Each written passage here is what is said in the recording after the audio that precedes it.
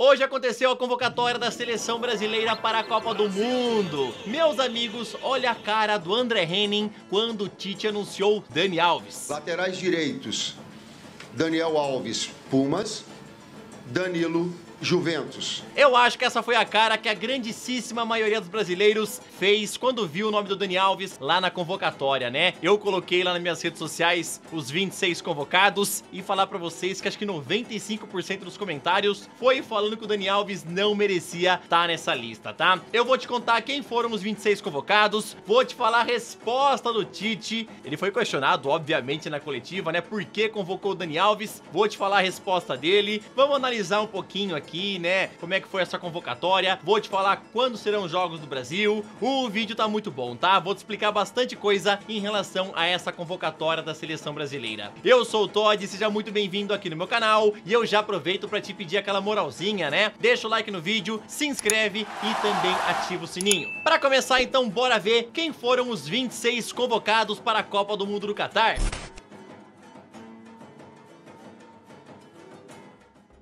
Pro gol temos Alisson, Ederson e Everton. Para as laterais, Danilo, Dani Alves, Alexandro e Alex Teles. Pra zaga, Thiago Silva, Marquinhos, Éder Militão e Bremer. Pro meio campo, Casemiro, Fabinho, Bruno Guimarães, Fred, Lucas Paquetá e Everton Ribeiro. E lá pro ataque temos Neymar, Vinícius Júnior, Gabriel Jesus, Anthony, Rafinha, Richarlison, Gabriel Martinelli, Rodrigo e Pedro. Então agora que você aí já sabe os 26 convocados, eu vou te falar que o Tite foi bastante questionado em relação a Dani Alves, né? Vale a pena lembrar que o jogador está dois meses sem jogar bola e tá treinando com a equipe do Barcelona B. Ele foi pro Pumas há uns meses atrás, né? Teve até aquela notícia lá do Portal Wall que ele tinha feito um acordo com o Tite para arranjar um time novo e aí seria convocado pra Copa. O Tite falou que não tinha acordo nenhum e agora o Dani Alves acabou aparecendo na Copa, né? Então, se tinha acordo ou não, nós nunca vamos saber. Mas que o Dani Alves garantiu a sua convocatória, ele garantiu, né? Lá no Pumas, o lateral direito praticamente não fez nenhuma apresentação muito boa, foi um, uma passagem esquecível, né? Não fez nada de muito útil lá na equipe mexicana. Aí depois acabou o calendário do futebol lá no México e ele tá treinando com o Barcelona B, como eu falei pra vocês. Então Tite foi alvo de várias perguntas, por que tu convocou o Dani Alves? E se liga na resposta dele. O critério do Daniel Alves é um critério de todos,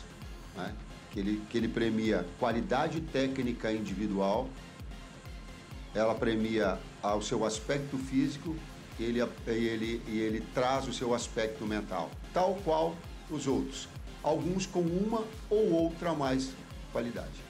Eu, sinceramente, não gostei da convocação do Dani Alves e tem muita gente que comenta aí, não, mas ele é muito importante porque ele é experiente e vai ajudar os jogadores aí da seleção, então leva como parte da comissão, tá ligado? Não leva ele como jogador convocado, um dos 26, essa é a minha opinião, tá? Eu gostei bastante da lista do Tite, tirando aí o Dani Alves, mas acho que faltaram alguns nomes, tá? Pra mim, o Caio Henrique lá no Mônaco, na lateral esquerda, tá jogando muita bola e merecia ter sido lembrado pelo Tite, aliás, já merecia ter sido lembrado na, naqueles últimos amistosos, né? Porém, o Tite, não sei se ele não acompanha o campeonato francês, não acompanha o Mônaco, não quis convocar o Caio Henrique. Outro nome também para mim que merecia ter uma vaguinha na seleção é o Gabriel Magalhães. Ele vem jogando muita bola pela equipe do Arsenal, inclusive marcou gol ontem contra o Chelsea, e eu acho que ele seria um bom nome para a nossa zaga, tá? Fora isso, também tivemos vários nomes que ficaram fora da convocatória, né? O Coutinho está lesionado e por isso não tinha como ele ser convocado. O Roberto Roberto Firmino não foi lembrado pelo Tite. Muita gente aqui do Brasil comentando sobre o Rodinei, falando até sobre o Marcos Rocha, Emerson Royal, que seriam opções melhores para o lugar de Dani Alves. E outro nome também que foi bastante questionado é o do Gabigol, o atacante do Flamengo que vem marcando gol atrás de gol, não foi lembrado pelo Tite. Mas pelo menos ele lembrou do Pedro, que foi eleito aí o melhor jogador da última Copa Libertadores. Eu gostei que ele convocou o Pedro e espero que ele ajude bastante a seleção brasileira na Copa do Catar. Eu quero saber o que, que tu achou desses 26 convocados, o que, que tu achou do Dani Alves, tem algum jogador aí que merecia estar nessa lista, ou algum que você não queria que tivesse aqui, tirando o Dani Alves, tá? Comenta aí pra gente bater um papo em relação a essa convocatória do Tite. Apareceu nos 26 convocados também lá no ataque Gabriel Jesus, ele ficou fora aí dos últimos amistosos e muita gente se questionou, né? Pô, ele tá jogando tanta bola no Arsenal, começou muito bem a temporada, por que é que o Tite não convocou ele para os amistosos? E realmente a gente viu que o Gabriel Gabriel já tava com a vaga carimbada, né? O Tite realmente quis testar novos nomes na última convocatória e agora que são os 26 da Copa do Mundo, ele anunciou aí o Gabriel Jesus. Já fazem alguns jogos que o Gabriel não tá marcando gols lá no Arsenal, se eu não me engano são oito partidas sem balançar as redes, mas ele tá jogando bem, ele é um cara importante lá pro ataque do time dos Gunners, tá dando bastante assistência e marcou alguns gols bem importantes no começo da temporada. Eu acho que ele é um cara que pode ajudar sim o ataque da seleção brasileira. Para mim, realmente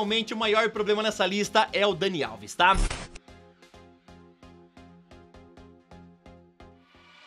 Agora, em relação à numeração, tem muita gente questionando quem vai ser o 9, como é que tá a numeração aí da seleção pra Copa do Mundo do Catar, né? Tô passando aí na tela, número por número, e o camisa 9 da nossa seleção será o Richarlison, galera. Quero te falar que os convocados vão se apresentar em Turim na segunda-feira e vão ficar lá até o dia 19, que é quando a seleção, junto com a comissão técnica, né, vão embarcar direto para o Catar. A Copa começa no dia 20 de novembro e termina no dia 18 de dezembro, que é o dia da grande finalíssima. É o dia que a gente espera ver a seleção brasileira lá em busca do Hexa, né? Na grande final. O primeiro jogo da seleção é no dia 24 de novembro, onde a gente enfrenta a seleção da Sérvia às 16 horas, horário de Brasília. Depois enfrentamos a Suíça no dia 28, às 13 horas. E a fase de grupos acaba no dia 2 de dezembro, onde a gente enfrenta o Camarões. Então essa foi a convocatória do Tite, quero saber as suas opiniões em relação aos 26 convocados e se tu tá confiante que o Brasil vai trazer o Hexa. E agora para finalizar o vídeo, eu vou mostrar para vocês algumas reações dos jogadores aí quando souberam que estavam entre os convocados pelo Tite.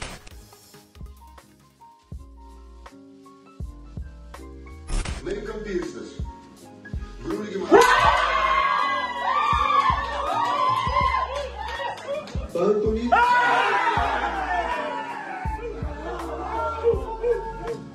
sunshine.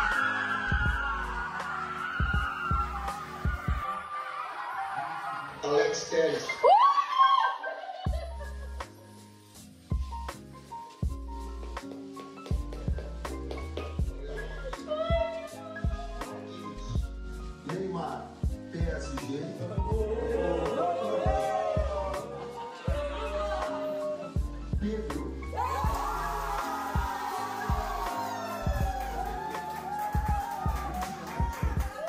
Everton Ribeiro.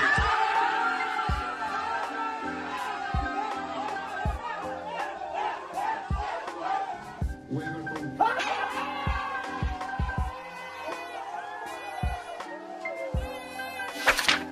Até o próximo vídeo, galera. Valeu, falou!